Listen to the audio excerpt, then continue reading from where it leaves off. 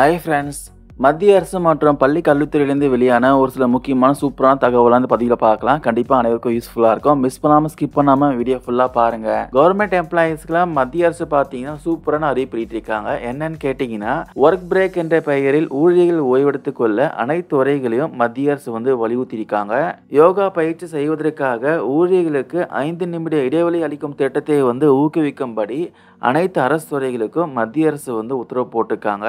Government எம்ப்ளாயீஸுடைய நலனை கருத்தில் வைத்து அவங்களுக்கு மன அழுத்தம் ஏற்படாமல் இருக்க வேண்டும் என்ற நோக்கத்தில் இந்த திட்டம் வந்து கொண்டு வந்திருக்காங்க. இந்த பயிற்சியை வந்து மன அழுத்தத்தை குறைத்து திறனை அதிகப்படுத்த உதவும் என்று மத்திய தரப்பில் தெரிவிக்கப்பட்டிருக்கு. இதற்காக ஒர்க் பிரேக் என்ற மொபைல் அப்ளிகேஷன் பார்த்தீங்கன்னா மத்திய ஆயுஷ் அமைச்சகம் வந்து உருவாக்கி இருக்காங்க. இது வந்து எல்லாருமே கூகுள் பிளே ஸ்டோர்லேருந்து டவுன்லோட் பண்ணி பயன்படுத்திக்கலாம். வேலை பலம் அதிகமாக இருக்கும் ஊழியர்கள்லாம் அடிக்கடி வந்து மன அழுத்தத்திற்கு ஆளாக நேரிடும்.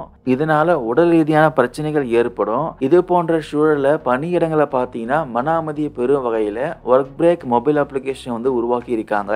முக்கியமாக பணியிடங்களில் ஐந்து நிமிடம் யோகா இடைவெளி கட்டாயம் பின்பற்றும் வகையில் சட்டம் கொண்டு வரப்படும்ட்டு மத்திய தரப்புல தெரிவித்திருக்காங்க.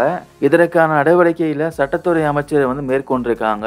அடுத்த இன்ஃபர்மேஷன் ஒரு குடும்பம் ஒரு குழந்தை சட்டம் கொண்டு வரப்படும்ட்டு மத்திய தரப்புல தெரிவிக்கப்பட்டிருக்கு. இதே விஷயமா மத்திய அமைச்சர் ராம்தாஸ் அத்வாலே வந்து ஒரு தகவல் கொடுத்திருக்காரு. நம்ம நாட்டுல பாத்தீங்கன்னா ஒரு குடும்பம் ஒரு குழந்தை சட்டம் கொண்டு வர பிரதமர் மோடியிடம் வலியுறுத்தப்படும்ட்டு மத்திய சமூக நிதித்துறை அமைச்சர் தெரிவித்திருக்காரு. நம்ம நாட்டுடைய வளர்ச்சியை உறுதி செய்வதற்கு மக்கள் தொகை கட்டுப்படுத்த வேண்டியது ரொம்பவே அவசியம். அவசியம். அதனால ஒரு குழந்தை கொள்கையை கொண்டு வரப்படும் சொல்லியிருக்காங்க.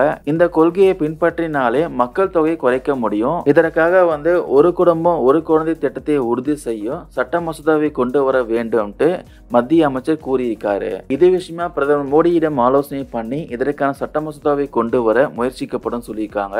கட்சி சார்பில் இதற்கான சட்ட முன்முடிவு பிரதமர் மோடியிடம் வழங்கப்படும் அமைச்சர் கூறியிருக்காங்க. இந்த சட்டத்தை அமல்படுத்த நடவடிக்கை எடுக்கப்படும் அமைச்சர் கூறியிருக்காரு. அடுத்த இன்ஃபர்மேஷன் பள்ளி கல்வித்துறை அமைச்சர் அன்பில் மகேஷ் வந்து ஒரு சில முக்கியமான அப்டேட்ஸ்லாம் விட்டிருக்காரு. தொடக்க பள்ளிகள் ரீஓப்பனிங் விஷயமா எட்டாம் தேதிக்கு பிறகு கலந்து ஆலோசித்து முடிவெடுக்கப்படும் அமைச்சர் கூறியிருக்காரு. இப்போ நைன்த்ல இருந்து டுவெல்த் ஸ்கூல்ஸ் ரீஓப்பன் பண்ணியிருக்காங்க. எட்டு நாட்களாக கிளாஸ் எப்படி போயிட்டு இருக்கு? ஸ்டூடெண்ட்ஸ்லாம் எப்படி வராங்க?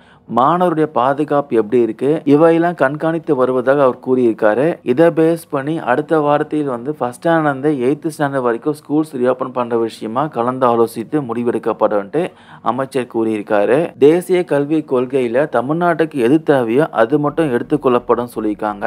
கிராமப்புற மாணவர்களுக்காக ஸ்போக்கன் இங்கிலீஷ் நடத்துவதாக அமைச்சர் கூறியிருக்காரு. தூய்மை பணியாளர்கள் இல்லாத பள்ளிகளை பார்த்தீங்கன்னா தூய்மை பணியாளர்களை வந்து விரைவில் பணியமர்த்த நடவடிக்கை எடுக்கப்படும் அமைச்சர் கூறியிருக்காரு. ஸ்டூடெண்ட்ஸ்க்கு வந்து கூடுதல் திறன் மேம்பாட்டிற்காக சில பள்ளிகள் வந்து கூடுதல் நேரம் எடுத்துக்கொண்டு செயல்படுவதில் எந்த தவறும் கிடையாதுன்ட்டு அமைச்சர் கூறியிருக்காரு. இதுக்கு முன்னாடி வந்து ஃபர்ஸ்ட் ஸ்டாண்டர்ட்லேருந்து எயித்து ஸ்டாண்டர்ட் வரைக்கும் பார்த்தீங்கன்னா செப்டம்பர் பதினஞ்சுக்கு அப்புறம் தான் ஆலோசனை பண்ணி முடிவெடுக்கப்படும் சொல்லியிருந்தாங்க.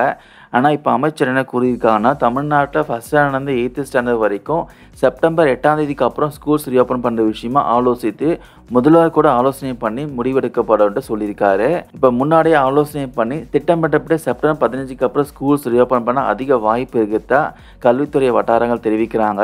மேலும் வந்து பள்ளிக்கு வரும் மாணவரின் பாதுகாப்பை மேம்படுத்த நடவடிக்கை எடுக்கப்படும் அமைச்சர் கூறியிருக்காரு.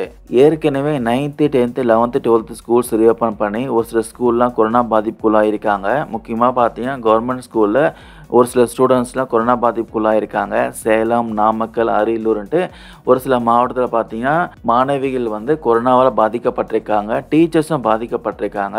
இப்போ எல்லாருக்குமே ஸ்கூல்ஸ் ரீஓப்பன் பண்ணிட்டா கண்டிப்பாக தமிழ்நாட்டில் கொரோனா பரவத்துக்கு அதிக வாய்ப்பு இருக்கு. ஏற்கனவே ஸ்டூடெண்ட்ஸ்லாம் பஸ்ஸில் தொங்கிட்டு போயிட்டு இருக்காங்க சமூகத்துடைய ஃபாலோ பண்ணால் பஸ்ஸில் பார்த்தீங்கன்னா கூட்ட கூட்டமாக போயிட்டு இருக்காங்க இந்த நிலையில் எல்லாருக்குமே ஸ்கூல்ஸ் ரீஓப்பன் பண்ணுறது பேராபத்தில் போய் முடியலாம். ஏற்கனவே கேரளாவில் பார்த்தீங்கன்னா கொரோனா வந்து கட்டுக்குள்ளடங்காம போயிட்டு இருக்கு இனி வர போகிற காலங்களில் பண்டிகை காலம் வேறு மழைக்காலம் வேறு இப்போ தமிழ்நாட்டில் எல்லாத்துக்குமே ரிலாக்ஸேஷன் கொடுத்துருக்கனால பாதிப்பு அதிகமாகிறதுக்கு அதிக வாய்ப்பு இருக்குது ஸோ தமிழ்நாடு கவர்மெண்ட் வந்து அடுத்த ரெண்டு மாதத்து கட்டுப்பாடு அதிகரித்தால் மட்டும்தான் கொரோனா கட்டுக்குள் கொண்டு வர முடியும். ஸோ வெயிட் பண்ணி பார்க்கலாம். தமிழக அரசு வந்து இனி வரப்போகிற காலங்களில் கொரோனா வந்து எப்படி கண்ட்ரோலில் வச்சிருக்காங்கன்ட்டு பொறுத்து தான் பார்க்கணும்.